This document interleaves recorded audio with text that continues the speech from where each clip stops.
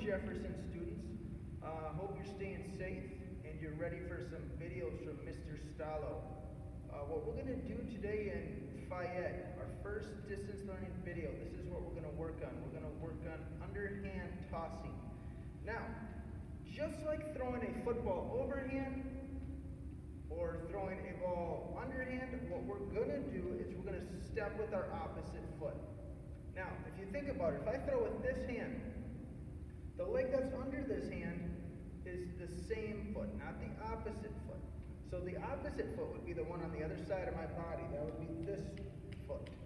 When I step and, and toss, I want to keep my elbow in and I want to extend my arm. Okay? As I step forward, I'm extending my arm. Okay? Now I'm just going to toss it into the first bucket first.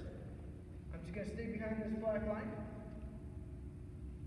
Step, toss. Step, toss. There.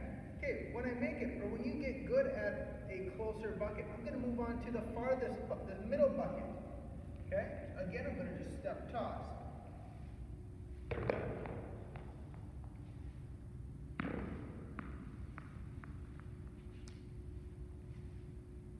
Close. Okay? Now, am I going to make every single one of them? Absolutely not. Okay, but this is the goal to get better is to keep practicing, keep trying this activity.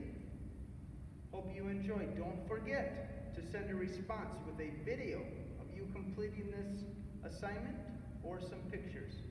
Have fun.